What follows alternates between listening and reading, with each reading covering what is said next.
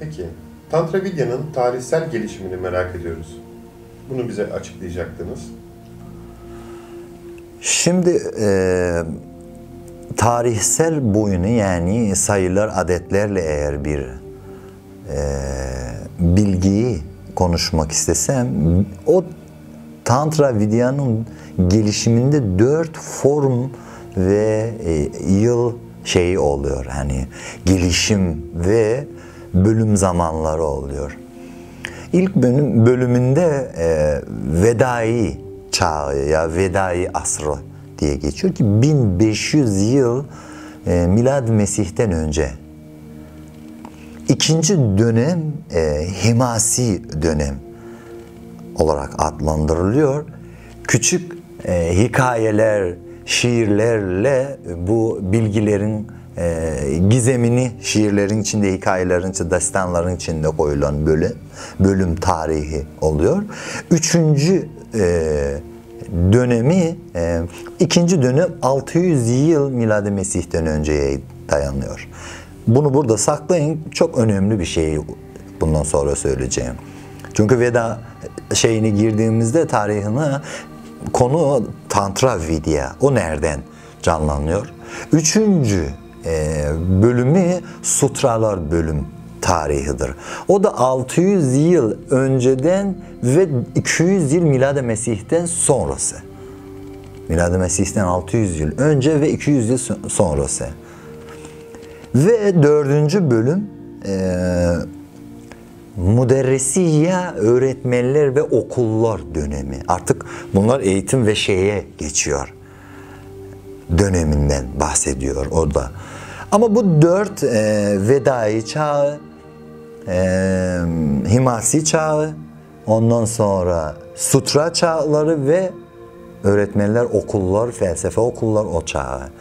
Her birinde büyük bir değişim dönüşümler yaşanılıyor. Vedantizm şeyindeki bahsedilen Vedalar ve Purushalar ve Upanishadlar şeyi patlıyor onda. Orada bir ilginç dönem şeyi var yani. Ben gizem diyorum hep buna. Burada Hindu Aryailer geliyorlar, giriyorlar oraya. Ve orada o panişatlar ve o bilgi, yani rişiler diyorlar, o bilim adamları ki de, de, çıkıyorlar şeylere, dağlara falan, ormanlarda meditasyon bir vaziyette meditasyon aracıyla yüksek seviye bilinçten bilgiler alıyorlar, iniyorlar meditasyonla. O çağın çok ilginç şeyi var.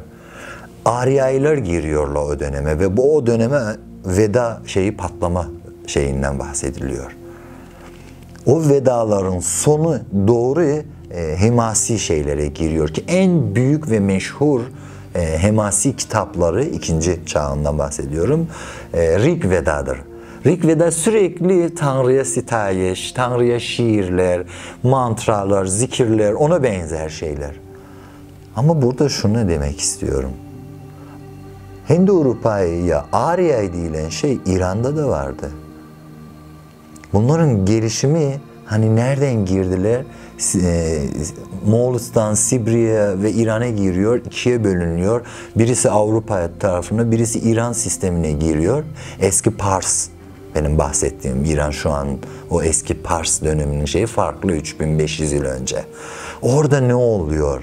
Zerdoş dini ve ayini geliyor ve orada Zerdoş şeyin özetine giriyorsun. İyi düşünce, iyi e, davranış ve iyi konuşma özetidir diyor kitabımın diyor. Bunlar nereden giriyor? Sonra Hind, e, Hindistan Indra ya Ind nehri ve o şeyin e, velayeti olarak tanımlanan bir bölge. Orada yer altına giriyor deprem ol, olup. Ve bunlar bunlara yardım edeyim diye oraya gidiyorlar. Orada bir gizemli bir şey var, destanlar var. Çok bunları paylaşmak istiyorum. Ne oluyor orada ve ondan sonra bu vedanın şeyi patlıyor. İleriki e, derslerde biz onu da konuşayla. Ama o asır e, üçüncü şeye geçtiğinde sutra şeyinde yani en büyük e, şeyi orada altı tane çeşit şeye giriyor.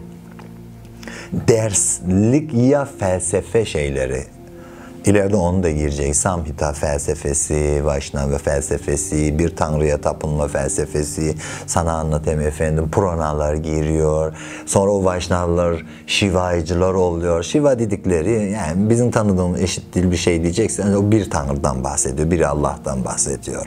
O, oraya geliyor. Bunlar gelişiyorlar. Birçok yerde birbirlerinde değişik inançları da var ama bazı yerlerde de aynı inanca sahipler. Yani Hinduizm'den geldiği nedeniyle aynı şeyden bahsediyorlar. Burada kendilerinin içinde de ateistleri de var, deistleri de ilginç bir iç içe ama hani inançlıları da değişik birbirine de ortak yerlerde çok var. En ilginç yapan yeri ben şimdi oraya gireceğim çünkü bizim konumuz Tantra Vidya. Yoga Tantra da onun bir dalıydı. Oradaki 600 yıl milattan önceki sutra dönemindeki çağdan bahsediyorum. Oradaki 600 önce ve 200 yıl milad Mesih'ten sonraya dayanan bir e, gizem var o tarihte. Konuşulmuyor ya konuşulan insanlar inançlarına göre bildiklerine göre öyle düşünüyorlar, öyle inanıyorlar diye bir lefafede konuşuyorlar. Kapatıyorlar ne var orada? Yani ben ilginç bulduğum yer orada iki tane şeyi gördüm. Jainizm yani o Mahavira inançlı, o da Tanrı şekli diye gelen inancı olan Jainizm, Jain taraftarları buna inanırlar, tapınanlar ve Budizm bu ki Buda'dan geliyor. Bunlar e, komple o Hinduizm ve Vedanta e, ve oradan gelen Upanishadlardan bilgiler ve bilgilikler ki o da insana ait değil bir bilgiler. Onlardan bayağı çıkıyorlar, dışarıya çıkıyorlar. Nerede dışarıya çıkıyorlar? Onların bildiklerine saygı duyuyorlar. Hala yine de öyle saygılı yaklaşıyorlar konuşmalarına, paylaşımlarına. Ama aynı kavramlar var. Fark nerede? Fark şurada. Diyorlar bütün bu veda ve bu bilgilik ve kutsal bilgiler bir tarafta diyor. Biz diyor e, ezellen, ebede kadar bir bilgi içerisinde konuşuyoruz. Ve bu konuşma ve bu açıklamaların içinde zaman kavramını ortaya getiriyoruz ve ve zaman sıkışma ve sıkışıklığın içinde samsara tekerleğini icat ediyoruz. Yani bitmez bir oyunun içindeyiz diyor. Ve nirvana ki o da bir meditasyonun şekli. Nirvana diyor bu sansara tekerleğin içinden çıkma düşünce ve meditasyonu. Bu farkı. Aslında aynı şeyle aynı konular var ama bunlar bu meditasyon ve düşünce şeyiyle e, oradan çıkıyorlar. Ya Jane'de mesela e, her şeyi reddediyor şeyinden. Yani dünyaya çıplak geldik, çıplak gideceğiz. Bir bir hmm, illüzyon gibi bir şeydeyiz. Sen buna güvenme, yüreğini bağlama. Diğer şairleri sen baksan dünyadakilerin hepsinde aynı konuyu bahsediyorlar. Demek istediğim oradaki önemli şey o e, iki tane hani geleneksel, gelenek olan bir şeyden dışarıya çıkıp ve kendi sistemini geliştirdiler. Çünkü Tantra vardı. Tantra o dönemde gelmedi. Tantra teknik olarak veriliyor. Tantra inanç değil. Tantra daha önce de vardı. Ayurveda 5000 yıllık bir tıp sistemi dedik hatırlıyorsanız. Ve bu tıp sistemin içinde var. Tantra bir dal. Bildiğin bir e, terapi yöntem. Nasıl olup da seni iki dala bölünüyor kendisi bu cinsel e, şey. Birisi tedavisi kısırlık, doğum yapabilmiyor konusu ile ilgili. Biri de düşkün sendir ya sıkıntılı bir arızalı bir cinsel ve birleşme e, enerjisine sahipsin. Bunu yönelerek yani senin bunu maneviyata geçirebilme şey tekniği sunuyor sana. Vardı ama belli belli dönemlerde ve çağlarda yerden sanki yer altından tekrar çıkıyor bu bilgi. Günümüzde bir etrafımıza bakalım. Hangi çağdayız dedik? Karanlık çağ diyorlar o zaman inancına göre bu çağa.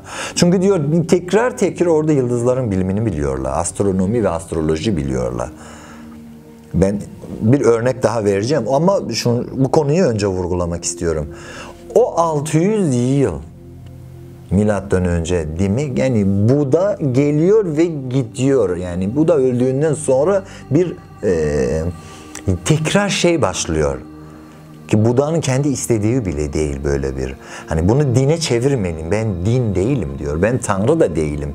Benim putumu yapmayın. Bayağı şeylerde bunu söylüyor. Ama yine de hanagalar diyorlar. Hani burada ne denir? Tapınaklar. Ve ona benzer sistemler şeyler ortaya geliyor. Tekrar yani aynı Hinduizm'deki var olan kültürsel hani ona benzer şeyler var. Gelenekler, kültürler falan. Aynı şey yine de buradan şey geliyor. Çok ilginç. Yavaş yavaş ondan sonra o 400 yıl milattan önce ve 200 yıl milattan sonra çağı ki sutraların çağı olarak geçiyor. Artık tantra canlanmaya başlıyor.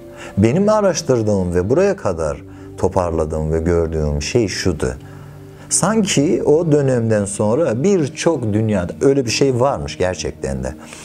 Bütün tıp sistemi ve beyinle ilgili bilgi sahip olan insanlar e, öyle bir e, yere toplanıyorlar ve hani ben bunu amiyane diline konuşuyorum da e, siz yanlış anlamayın.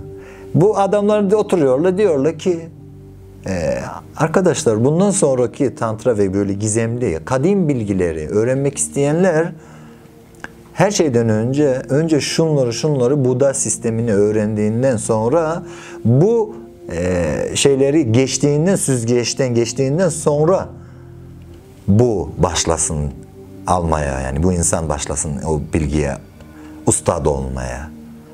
Ve burada Kuzey Tantra ve Tantra Vidya şeyi ortaya çıkmaya başlıyor. Çünkü Güney Tantra'daki geleneksel ve o anlayış şey var hala.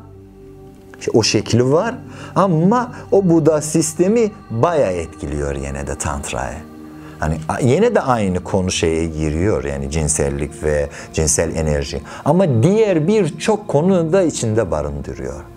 Ayurveda ki kendisine 5000 yıllık tarihi var. Jyotish, yıldızların bilimi, Vedik astroloji. Sana anlatayım başka efendim. Gizli mayalar diyorlar. Maya, yoga maya diyorlar. Yani nihai e, survivor bilgi şeyleri bile hepsi Tantra Vidya olarak orada 5. Veda içine giriyor. Ve çok ilginç bir şey var.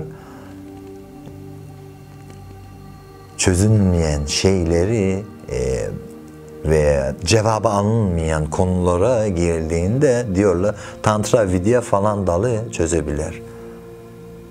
Sanki biliyormuşlar böyle bir duruma girecekler.